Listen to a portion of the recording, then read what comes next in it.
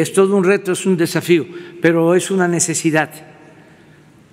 Este, es lo mismo.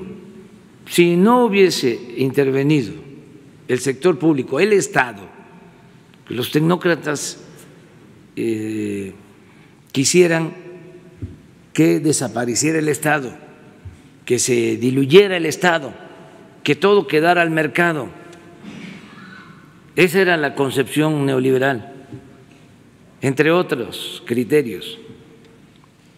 Claro, también de manera muy hipócrita, porque sí usaban al Estado cuando se trataba de rescatar a las instituciones financieras en quiebra. Por ejemplo, usaron al Estado para el FOBAPROA.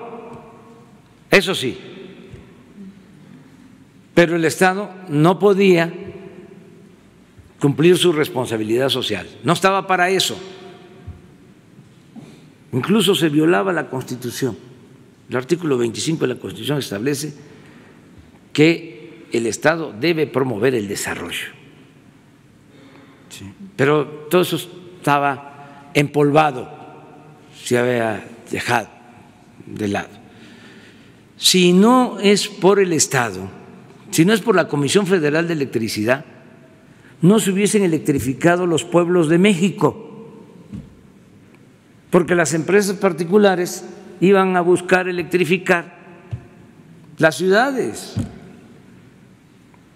no iban a llevar las líneas eh, de electricidad a los pueblos. Tenemos el 97% del territorio electrificado por la Comisión Federal de Electricidad, por el Estado.